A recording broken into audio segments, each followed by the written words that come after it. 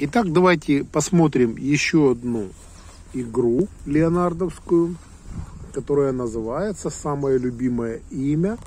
И сейчас мы поиграемся с именем Платон. Платон. Это мальчик, да? Мужчина, юноша.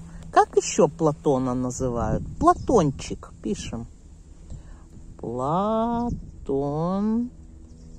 чик, так его называют, любимой семье.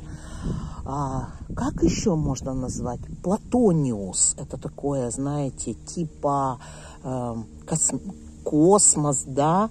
Платониус. Это космическое да. тело. Типа как, как будто бы планета, да?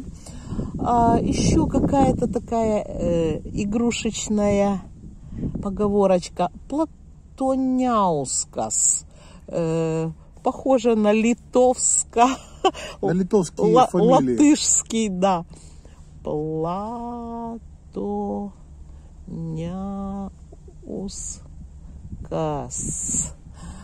Э, мамочка называет. Плюшек. Плюшек, ласково. А, Пацаны называют гордо плато. Плато. Коротко и ясно. Плато. И э, такой, знаете, тоже э, в детской тусовке плюха. Плюха. Когда бесятся, играются пацаны, они там прячутся, игры придумывают. Вот они. И давайте начнем. Платон. Давайте. Я думаю, что Платон это нечто монументальное, серьезное. И давайте подумаем, кого так звали. Так звали самого умного человека на земле. Платон, Сократ, помните, были такие умные философы. древнегреческие философы. И вот огромные, как такие, давайте буква Л пойдет такая, да? Вон она на букве П. Пла. А теперь буква А пойдет. Знаете, как еще один этаж мудрости. Еще один этаж мудрости. Пла. Буква Т уже похожа на крышу, такую монументальную. Буква О, как заходящее солнце и буква Н, как флюгер какой-то или серьезная какая-то труба. И видите, вот какое строение. И прям рука чешется сделать падающую тень от этого строения.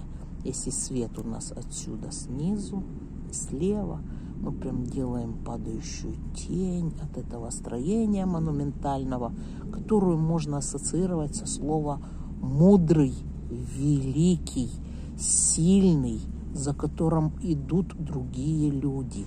И вот, вот такой вот Платон у нас, знаете, очень умный и мудрый человек. Давайте там буква Л. И от буквы А небольшая падающая тенька.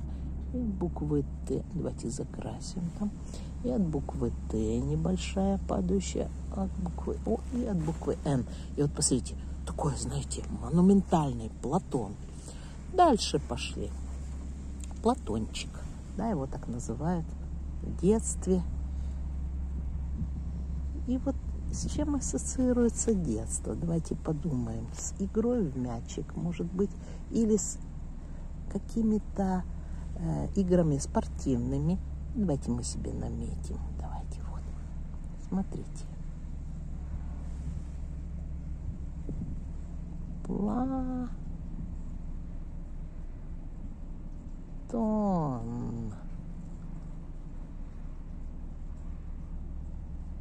Чик. И, конечно же, смайлик. Улыбается, играется. Следующее имя Платониус.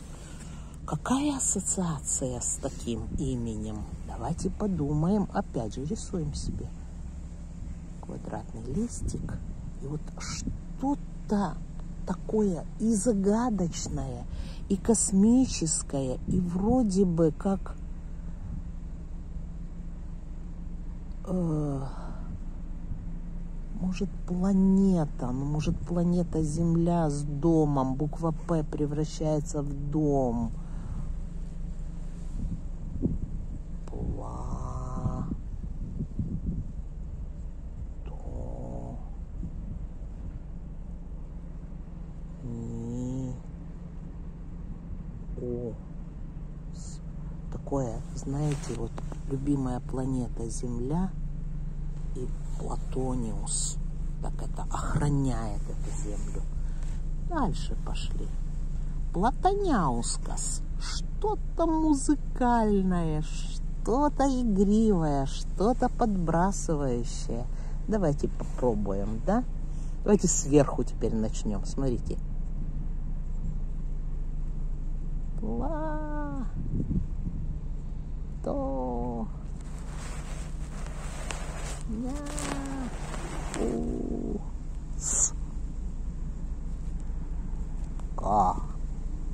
С. Давайте сверху, да, как будто бы в какую-то игру играют, там, где много-много мячиков, много каких-то приспособлений. Или зернышек Зернышек. этих Дальше. гранатов. Плюшек. Посмотрите, давайте плюшек. Сразу с чем-то, с какой-то мягкой, уютной игрушкой или с мягким, уютным зверьком. Давайте подумаем.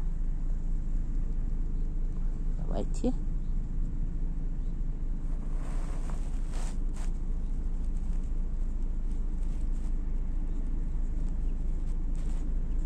И вот у ежика носик и лапки.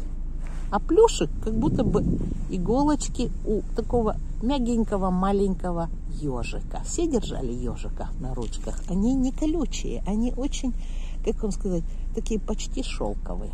Плюшек. Так, кто у нас еще пошел? Плато. Очень серьезное слово плато, да, и оно может быть даже фирменным знаком. Давайте попробуем. П. Л. А.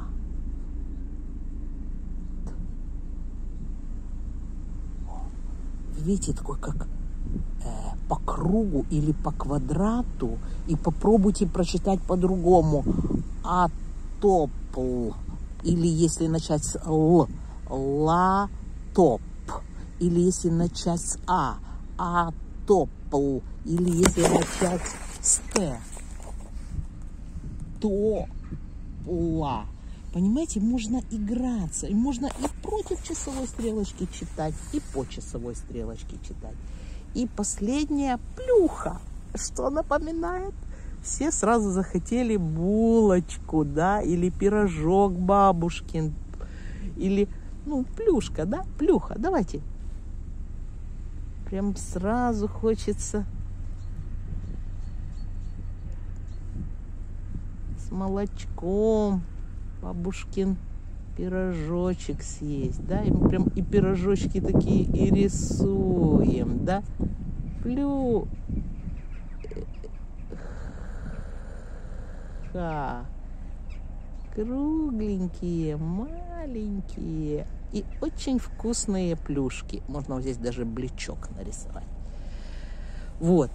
И вот если вы тоже придумаете к своему главному имени еще и любимые имена свои, которыми называют вас другие люди, или вы о себе так думаете, попробуйте зарисовать их, чтобы эти слова четко определяли стилизацию э, обращения к вам понимаете? Или ласкательно-уменьшительную, или строгую, или играющую, или серьезную взрослую.